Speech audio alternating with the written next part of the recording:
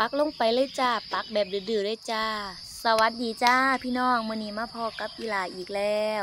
มื้อนี้ลาสีผ้ามาปักช่ำต้นใบแมงลัก หรือว่าบ้านอีหลาเอิญอีกอย่างหนึ่งว่าผักอีตูเด้อจ้าพี่น้อง เมนูที่อีหลามักที่สุดของผักอีตูก็คือหมกใส่นมไม้เด้อจ้า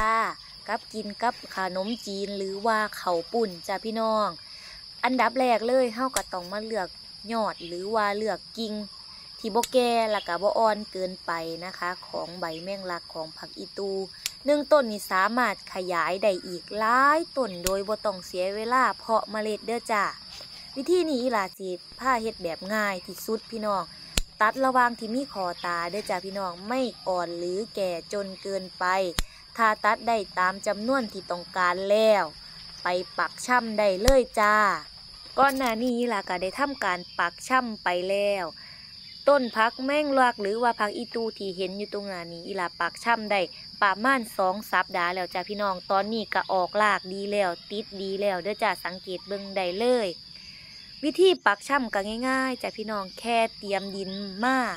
ดินล้วนดินปลูกดินยังก็ได้จะใส่ในกระถางนะคะแล้วนำกิ่งพักอีตูหรือว่า แมงลักที่เฮาตัดมาบางหันนี่จ้าพี่น้อง ลงมาปักช่ำหรือว่าเสียบลงไปได้เลยจ้ะ วิธีการก็คือ ง่ายๆ ดื้อๆแบบนี้เลยจ้ะพี่น้อง กระถางหนึ่งอีหลาจะใส่ประมาณหาหกยอดนะคะ จะเฮ็ดเป็นจุ่มกระถางใหญ่หรือว่าจะแยกออกเวลาออกหลากแล้วก็ได้จ้ะพี่น้อง ปักลงไปแบบง่ายๆจังสีเลยจ้ะ วิธีการของอีหลากะสิว่ายุ่งยากบ่หลายขั้นตอนเด้องจ้ะที่ผ่านมาอีหลากะเฮ็ดแบบนี้ล่ะกะออกลากดีลากเดินดีพ่อสมควรนะจ๊ะเมื่อนี้จะปักซ้ำสามกระถาง ต้นพักอีตูหนึ่งต้น แมงลักหนึ่งต้นสามารถขยายได้อีกเป็นสิบสิบหรือว่าตามจำนวนที่พี่น้องต้องการได้เลยจ้ะพ่อปักช่ำแล้วกะลดน้ำนะคะ เก็บไว้ในลมเก็บไว้ในห่มหรือว่าแสงลำไรนะคะบอ แนะนำให้เอาออกไปใส่แดดเต็มที่ เพราะว่าต้นบ่ท่านมีหลากนะคะ กิ่งของเขาหลากบ่ท่านออกอาจจะเฮ็ดให้เหี่ยวหรือเฉาได้จ้าแค่นี้ผ่านไปสองสัปดาห์พี่น้องก็จะได้ต้นแมงลักที่สวยและก็งามยังเช่นต้นนี้จ้ะพี่น้อง เดี๋ยวจะเอาให้เบิ่งว่ารากเดินดีขนาดไหน อันนี้อายุประมาณสองสัปดาห์ที่ลาปักช่ำลงไปจ้ะ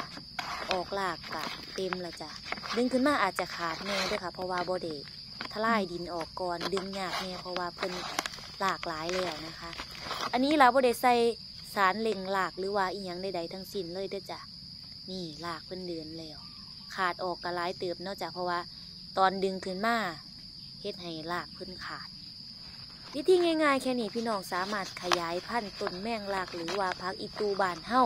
ไว้ถ้ากินไว้ถ้าขายก็ได้เด้อจ้ะพี่น้องไว้ถ้าใส่ในครัวเรือนของเฮ้าเป็นพักที่ ขาดบ่ได้สำหรับครัวเรือนไทยอีสานก็ว่าได้หรือว่าบ่ว่าจะเป็นภาคใดๆกะ ใส่พักอีตูหรือว่าแมงลักคือกันเบิดจ้ะพี่น้อง ถ้าพี่น้องชื่นชอบคลิปดีๆ แบบนี้คลิปเกี่ยวกับการปลูกต้นไม้คลิปเกี่ยวกับการเฮ็ดเกษตร เกี่ยวกับการใส่วิถีชีวิตในชนบทก็สามารถกดติดตามช่องของอีลาไว้ได้เด้วยจ้าสำหรับคลิปนี้ไปแล้วจ้า